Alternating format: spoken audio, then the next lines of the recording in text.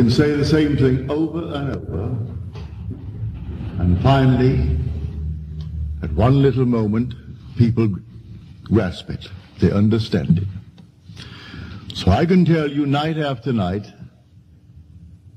that all things exist in the human imagination. And I can tell you that man is all imagination and God is man and exist in us and we in him. That the eternal body of man is the imagination and that is God himself. That is the divine body we call Jesus Christ in Scripture. And because of previous training, we may question that or hesitate to, well, take it seriously. Tonight I hope I can show you through stories how true this is.